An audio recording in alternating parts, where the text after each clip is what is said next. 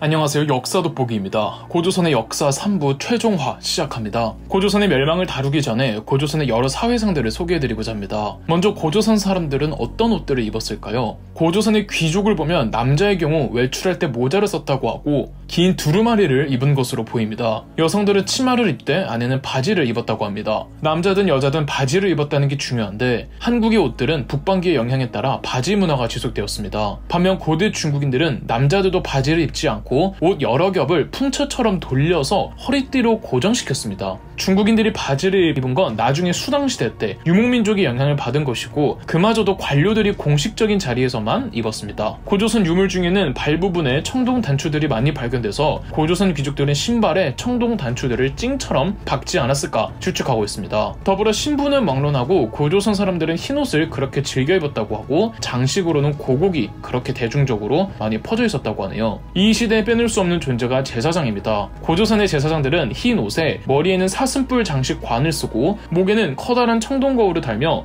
허리에는 청동 검을 찼으며 또 곳곳에 청동 방울과 청동 허리띠 장식을 찼답니다. 고조선 출토 유물로 뼈바늘이 매우 많이 나오고 있어 고조선 사람들은 직접 옷을 지어 입었음을 알 수 있고 중국 측 기록에는 고조선 사람들이 누에를 치며 길쌈했다고 나와 있죠. 그렇다면 고조선 사람들은 어떤 음식을 어떻게 먹었을까요? 역시 중국 측 기록에는 고조선 사람들이 변과 두를 사용해 음식을 먹었다고 하는데 변은 대나무로 만든 그릇, 두는 나무로 만든 그릇입니다. 고조선 유물로는 청동 숟가락들도 꽤 출토가 되었다고 합니다. 고조선 사람들은 주로 음식을 익히거나 끓여 먹었다고 하며 주로 먹은 고기로는 멧돼지, 승냥이, 너구리, 곰, 족제비, 수달, 삭, 물개, 고래, 노루, 쥐 등을 잡아먹었습니다. 중국 사기에는 고조선이 물고기, 소금, 대추, 밤 등이 풍부했다고 나와 있습니다. 또 고조선은 역시 풍류를 하는 우리 조상들이었습니다. 후한서와 삼국지 동의전이라는 역사서에는 동이족들이 춤출 때에는 항상 수십 명이 서로 줄을 서서 땅을 밟으며 장단을 맞춘다. 그들의 춤은 수십 명이 모두 일어나서 뒤를 따라가며 땅을 밟고 구부렸다가 치켜들었다면서 손과 발로 서로 장단을 맞추었다 고 기록되어 있습니다. 고조선의 사회상에 대해 매우 중요한 자료가 고조선의 법입니다. 확실히 이맘때쯤 고조선은 통치 조직도 있고 국가의 법도 성문화했던 걸로 보아 아무리 부족 연맹 국가여도 국가의 기틀을 가지고 있다는 걸 알 수 있는데요. 고조선 8조법이라고 성문법이 있었다고 하지만 현재는 사람을 죽인 자는 즉시 사형에 처한다. 사람을 상해한 자는 고물로서 배상한다. 남의 물건을 훔친 자는 노비로 삼되 자속하려는 자는 돈 50만 전을 내야 한다. 이렇게 세 가지만 전해지고 있습니다. 이를 통해 고조선은 노비가 있는 신분제 사회였으며 사유 재산을 인정받았다는 걸 알 수가 있습니다.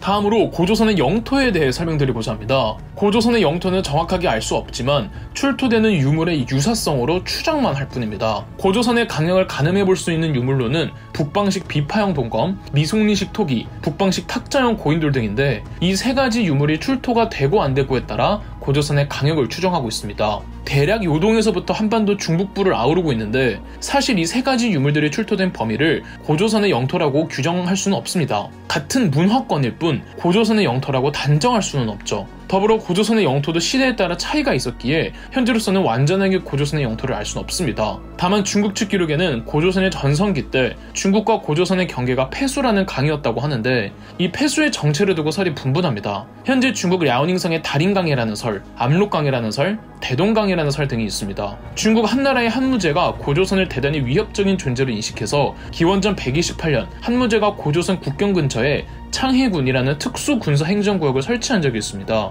이로 말미암아 폐수라는 강은 중국과 가장 가까이에 붙어 있는 요동 부근이 아닐까 합니다.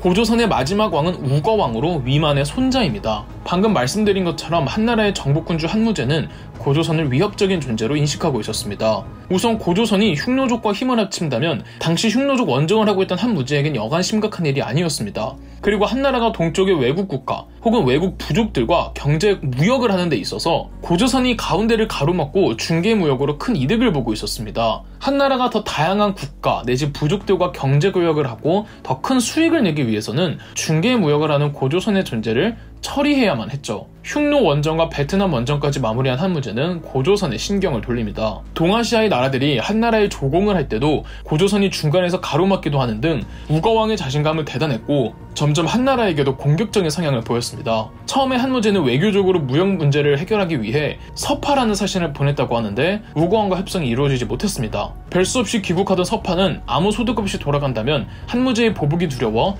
폐수 근처에서 고조선의 비왕 장을 죽였다고 합니다. 이에 우거왕은 한나라를 선제 공격합니다. 한무제는 5만 병력을 동원해 순체와 양복을 내세워 우거왕이 고조선 병력을 막게 했습니다. 순체는 육로로 요동을 통해 고조선으로 진격했고 양복은 산둥반도에서 수군으로 보급 업무를 위해 고조선으로 향했습니다. 그런데 한나라군은 고조선과의 싸움에서 패배합니다. 한나라는 화친을 제안하지만 우거왕은 거부하죠. 아무리 고조선이 이기고 있는 전세여도 화친을 거절하고 전쟁을 재개한 우거왕의 선택은 끝이 좋지 못했습니다. 고조선 내부 내부에 주전파와 주화파로 나뉘었는데 전쟁을 원치 않았던 주화파들이 우거왕을 살해한 겁니다. 주화파들은 화친을 다시 원했으나 정작 이번에는 한나라 측에서 원치 않았고 한나라군은 고조선의 수도 왕검성을 포위 살해된 우거왕의 아들이 투항하고 한나라군은 우거왕의 아들을 내세워 백성들에게 항복을 자극하면서 왕검성의 성문이 열렸고 기원전 108년 고조선은 멸망합니다. 왕검성이 체크메이트 된 후로도 고조선의 장군이었던 성기가 부흥운동을 펼치며 저항을 지속하고 있었는데요. 한나라의 순체 장군이 우거왕의 아들을 이용해 성기를 암살해버리면서 부흥운동도 진압되었습니다.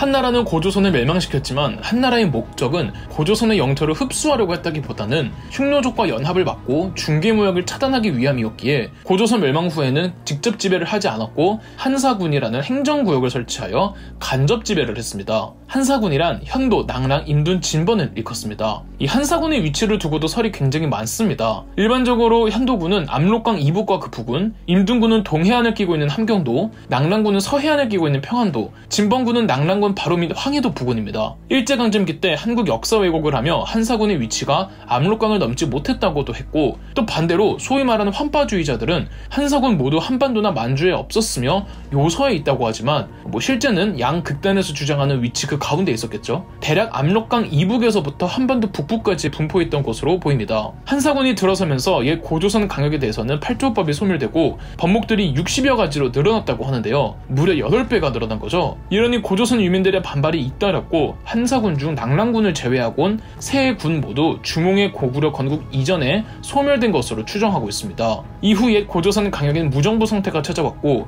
여러 부족들이 흩어져 분포해 있다가 중홍의 고구려가 성장해가면서 이 지역을 차지합니다. 한나라가 멸망하면서 한반도에 있던 낙랑군은 낙랑군 대방군으로 분리가 됩니다. 낙랑 대방군을 통해 한반도 전체에 철기가 널리 보급되었습니다. 뿐만 아니라 미술사학자들은 낙랑의 문화 수준이 남달랐다고 하는데 유홍준 교수는 낭랑의 고급 문화는 한반도의 여러 부족에게 큰 자극을 주어 문자가 도입되고 질그릇 문화의 혁신이 일어나며 금속공예도 장족의 발전을 이루는 계기가 되었다고 설명합니다. 낭랑군과 대방군은 4세기까지 이어지지만 고구려와 백제의 공격을 받다가 313년 고구려에게 전부 병합됩니다. 이렇게 한국사 미지의 국가 고조선에 대해 3부로 다뤄봤는데 혹시 제가 다루지 못한 내용들이 있다면 댓글로 달아주셔서 의견 공유해주세요. 그럼 역수돋보기였습니다. 영상 재미있으셨다면 구독과 좋아요, 알림 설정까지 해주시면 감사드리겠습니다.